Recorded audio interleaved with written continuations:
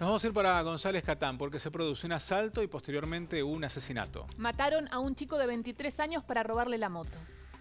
Se llamaba Nicolás Godoy. Dos delincuentes lo sorprendieron en el cruce de Puerto Argentino y Bartolomé Salom, a cuatro cuadras de su casa.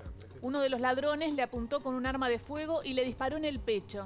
Nicolás cayó herido de gravedad. Lo trasladaron rápido al hospital, eh, simplemente evita, pero los médicos lamentablemente no pudieron salvarlo. En lo que va del año, otro asalto violento, otro asesinato también de un chico menor de edad.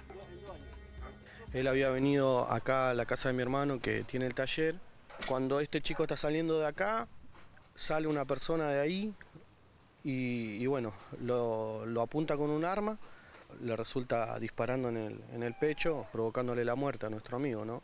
El patrullero estaba acá, no sé cómo pasó que vino tan rápido el patrullero. Nicolás estaba acá tirado frío.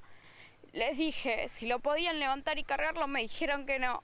Después eh, les digo, él puede ser un amigo de ustedes y me dicen, sí, es un caso extremo de que yo lo levante a mi amigo y me lo lleve. Y bueno, esto también es un caso extremo. ¿Por qué no se lo cargaron y no lo llevaron? Somos tierra de nadie acá. El municipio acá hace 50 años que no hace absolutamente nada. Hubo violaciones, eh, se esconde gente, nos roban. Y usted hace las denuncias, habla con... Y siempre prácticamente nos sentimos usados.